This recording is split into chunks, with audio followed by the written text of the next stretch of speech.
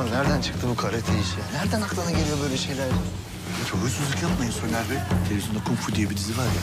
Çocuk Deniz onu seyretmiş, özenmiş. Ya çocuk işte, idare edeceğiz. Az yavaş.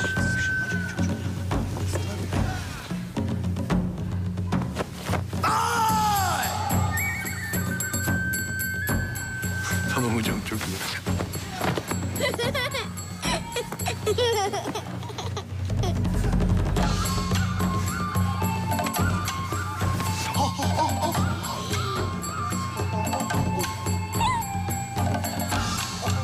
Woohoo!